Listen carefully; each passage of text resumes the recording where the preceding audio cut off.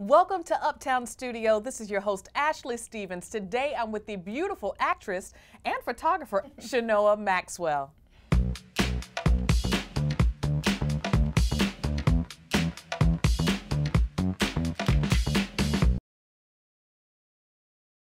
Chenoa, it's so great to have you here today on Uptown Studio. Thank you for having me. I'm really excited to be here. You still look fantastic. Oh, please, girl. And I say still, and I say still because I remember you in the movie from some years ago, Hav Plenty. Yes. And you played Haviland. I Haviland. did, Yes. Haviland Savage. Yes. Thank you so much. Did you enjoy that movie? I did enjoy the. Do I look like a French fry to you? Do I look like a biscuit? Tell it. What? How did you get into acting? oh, you know, it's a really interesting story. I um I got into acting because I went to a seminar with Iyanla Vanzant, Mm. and she changed my life. Really? And I decided in that very moment that I wanted to have a platform where I can help inspire and motivate and share my stories of how I, you know, went through such a hard childhood because I really had a really difficult childhood. Okay. And um, I just said, you know, I just need a platform, something that I can be creative and express myself and be honest.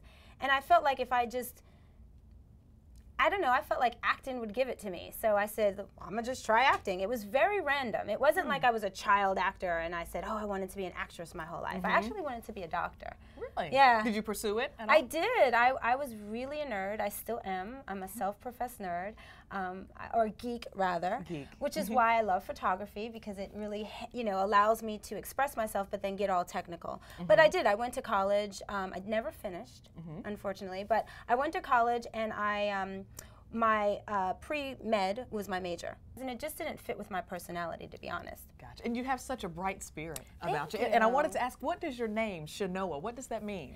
Chenoa means firstborn daughter. It has two meanings actually because I'm Native American. Okay. So Chenoa means firstborn daughter in the English language. And then in my Native American language, which is I'm Wampanoag, Mm-hmm. and um, it means uh, white dove. Nice. Yeah, so, So you're meant to fly. I am meant to fly. White dove is a symbol for peace, beauty, Mm-hmm. and um, flight.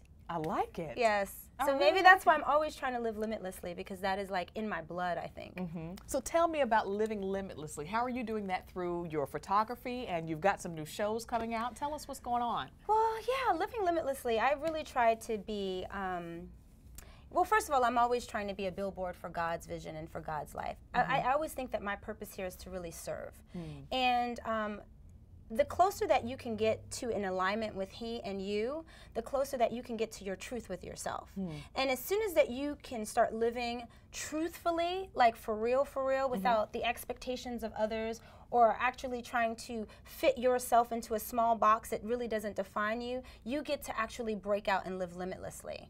And so that's my philosophy. I'm always looking for a new lens to put on my own eyes so that I can have a wider scope and a wider vision for my life. Nice. And and that's basically what it is. so tell me about your photography work. My photography, I love my art. It, it is the thing that I live for. Okay. Um, I was, uh, I, I decided to stop acting for a while, and I moved to London with my husband. Nice. And while I was there, he was a workaholic, and I just was always alone. And so I got an opportunity to travel ar- around the world. And the only friend that I had at that moment was my camera. So I would bring my camera along with me, and I would just go, you know, global hopping, if you will. Yeah. And I started to bring back pictures to my friends in LA, and I, they would be like, "What are you doing, girl?" And I was like, "Oh, global hopping and taking pictures, bored." And they would look at my images, and they said, "These are really amazing images." And I've always really been into imagery. Um, when I was younger, before I started acting, I was actually like assisting Hype Williams as a camera loader. I thought I was going to be like a director of ph- photography. Yeah. So photography has always been something I loved. So when I came back, they saw my images, and a friend of mine put me in a competition, and I won.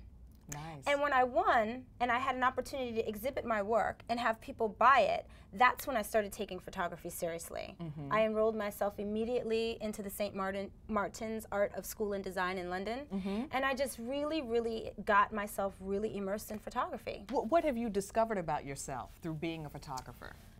I think what photography does is it allows you to really, really get quiet and be a spectator in life in a way that you never would.